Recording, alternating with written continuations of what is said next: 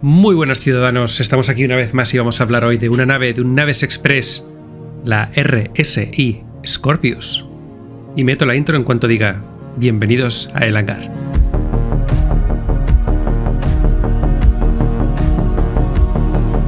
Bien, mucho tiempo sin que hiciéramos un Naves Express, pero bueno, aquí estamos y vamos a hablar de la nueva RSI Scorpius que está ahora mismo en, eh, bueno, en la fase 1 o en la primera oleada en el reino de pruebas, porque ya mismo dentro de muy poquito estará accesible para todos.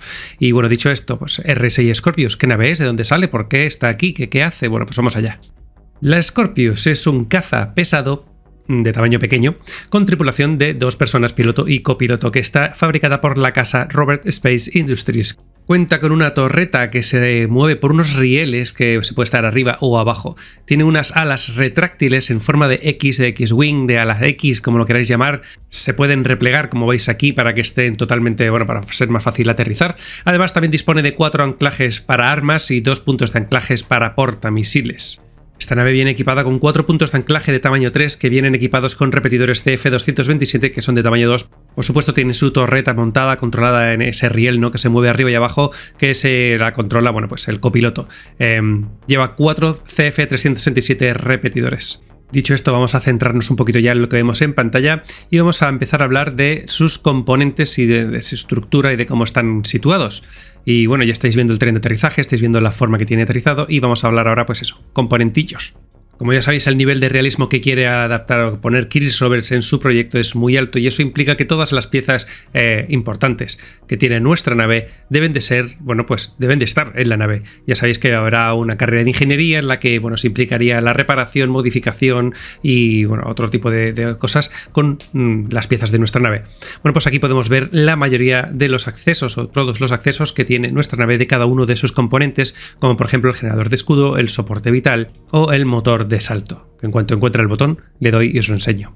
Todas las naves tienen que pasar por el proceso en el cual eh, se incluyen todas las piezas en ella. Lo digo porque todas, hay muchas de las naves antiguas que están siempre están siendo retocadas para poder incluir todas estas piezas. E incluso muchas de ellas representan un reto, ya que originalmente los diseños, eh, tal y como estaban, pues no se contaba con el espacio necesario para este tipo de cosas, que es algo que siempre hay que tener en cuenta a partir de ahora.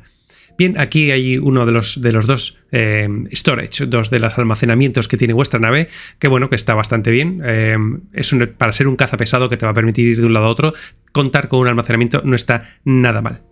Eh, vamos a tener dos, uno a cada lado, aparte de también otros accesos a mm, más eh, componentes en la parte delantera de la nave.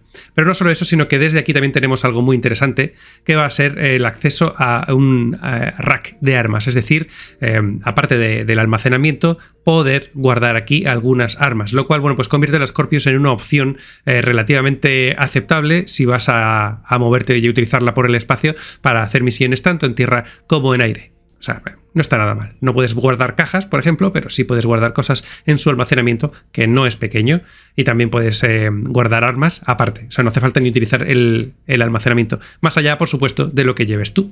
Lo cual, bueno, pues no está nada mal, no está nada mal. En cuanto al hecho de que cada una de estas naves tenga todas sus eh, piezas importantes, bueno, pues eh, directamente en ellas significa que es que si pierdes alguna parte de la nave debido a una explosión o daño, puedes perder también ese componente, lo cual complica seriamente las cosas. Por ejemplo, aquí en la base de las alas, esta nave tiene los refrigeradores, uno a cada lado. Bueno, pues esto podría complicar las cosas en caso de un impacto aquí, aunque no, esto es hablar por hablar, pero quizás se podría manipular alguna de estas piezas para que haga una malfunción, o sea, lo que viene a ser un sabotaje de toda la vida. Bueno, pues no lo veo ni, ni poco común, o sea, eh, en la mente de Chris sobre todo es posible. Hablando una vez más sobre el almacenamiento, bueno, he querido volver para hacer un repaso para que veáis la capacidad que tiene total. En cualquier caso, bueno, pues he, pasado algunas piezas de armadura, he pasado una armadura completa y un arma y bueno, pues tienes más o menos el 25% de uno de estas, de una de estos dos capacidades de, almacenamiento, lo cual, bueno, pues no está mal, no está nada mal porque puedes llevar armaduras específicas para diferentes tipos de planetas o sencillamente llevarlos vacíos para rellenarlos con las cosas que vayas cogiendo aquí y allá me ha parecido, bueno, pues teniendo en cuenta que es una nave de combate, que tenga un almacenamiento como este, pues eh, ni tan mal. Vamos a ver ahora el acceso aquí a la cabina de piloto. También desde aquí se puede acceder al copiloto, no hay, no hay ningún problema. Cuando seleccionas, pues seleccionas o, uno u otro. Eh, aquí tendremos todas las opciones. Bueno, pues aquí vamos a entrar en el asiento del piloto. El cual tengo que decir que em, es uno de los, de los más bonitos. Evidentemente es la última nave que ha salido. Pero me parece, me parece muy bien, me parece un diseño muy claro, con una capacidad de visión, de visibilidad muy, muy, muy buena. Eh, y, los detalles están muy trabajados. La verdad es que me gusta bastante esta cabina. Por cierto, si veis movimientos raros de cámara es porque estoy utilizando eh, Toby Eye Tracker, que es capaz de, bueno, de ver a dónde estoy mirando y mover la cabeza al respecto. Solo lo tengo activado ahora mismo dentro de las cabinas porque me ayuda a pilotar, eh, aunque también se puede poner en tercera persona, como ya sabéis. Bueno, dicho esto, ya veis aquí que la visibilidad de, esta cabina es estupenda, es muy, muy, muy buena y los acabados del interior de la cabina eh, también. Estoy loco porque metan el VR. Aquí podemos ver todos los botones a la izquierda, tenemos dos pantallas MDF que, eh, justo delante nuestra que tienen un fondo transparente el cual nos permite pues eh, ampliar esa, visibilidad ya bastante alta de, por sí. Y todos los pequeños botoncitos que nos van a indicar bueno pues eh, cada una de las acciones que se podría hacer con la nave. La verdad nada mal nada nada mal pero qué mejor manera de enseñar una cabina que volando, ¿no? Y ya que estamos, bueno, pues eh, os enseño también un poquito del exterior de la nave, que solo la hemos visto aterrizada. Estoy aquí haciendo un free fly para que no me moleste nada ni nadie. Aquí tenemos el exterior de la nave con su característica forma de ala X, con sus alas totalmente desplegadas. Aquí tenemos el motor, así como los motores de maniobra que encontraremos tanto arriba como abajo. Podemos ver también las animaciones de cómo se lanzan estos misiles desde, desde sus localizaciones dentro de la nave, el cual está bastante bien, mucho mejor que otras naves. Evidentemente debe de serlo, es la última que ha salido, o sea, ya le valdría si no fuera así. y tras un par de cohetes más, vamos a echarle un vistazo a esa animación del tren de aterrizaje.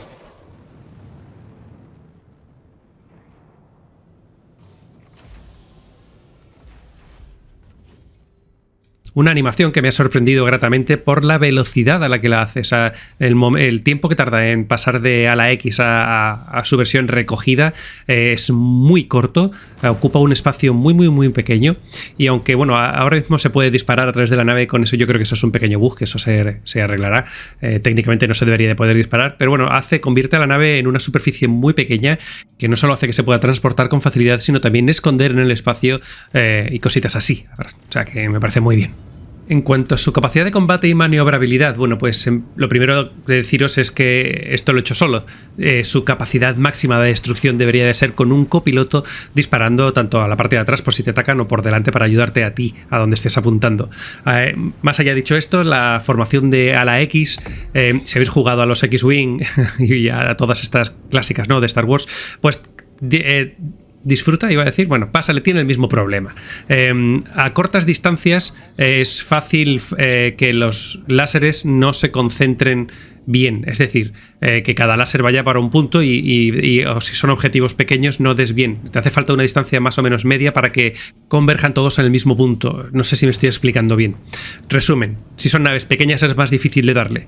En cuanto coges una nave que tenga un poquito más de superficie, te da igual la distancia a la que estés, la, puedes brear sin problemas. En cualquier caso, esto es un problema, entre comillas, eh, poco problemático, ya que para algo tienes también un copiloto con cuatro armas de tamaño 3 en una torreta eh, con una visión increíble.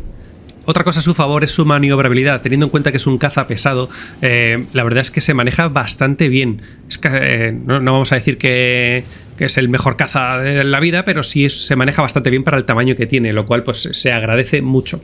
Por otra parte, también he estado jugando con él en Horizon, dando vueltas para arriba y para abajo, y tengo que decir que su capacidad de hidrofuel, es decir, de combustible, es relativamente baja. O sea, se nota que es un caza, no es una nave para darse paseos, ni es una nave para hacer misiones, o sea, es un caza que vale para lo que vale.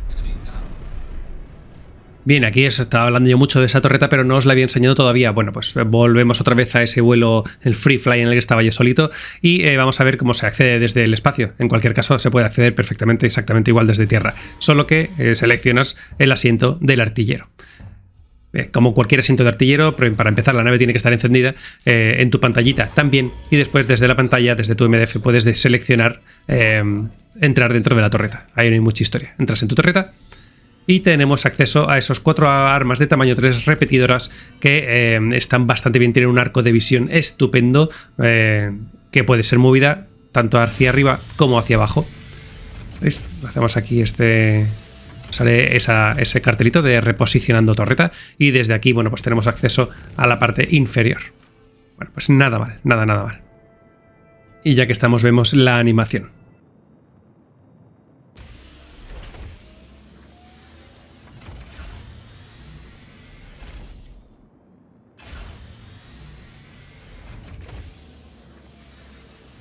Bueno, damas y caballeros, con esto he hecho todo lo express que he podido este Naves Express. Esta nave debería de salir por un precio, bueno, cuando salió rondaba los 200, 220 dólares durante su presentación. Evidentemente esto va a subir, así que que no se extrañe que ronden los 250 euros aproximadamente o más, aunque lo veremos dentro de una semanita aproximadamente. Bueno chicos, eh, opiniones personales, ya para terminar. Pues me gusta la nave, me gusta, está muy chula. Eh, me parece que con, si dispones de un copiloto y tu copiloto tiene manos, pues muy bien, perfecto para hacer misiones eh, de destrucción, o sea, de combate puede ser una opción bastante potente. Eh, no te va a servir si lo que quieres es viajar mucho, ni realizar misiones eh, mixtas entre a pie y en nave, porque bueno, para mi gusto le faltaría capacidad de, de transporte y esas cositas, pero bueno, es lo que estamos hablando, es un transporte, eso es una nave de combate pesada, ¿no?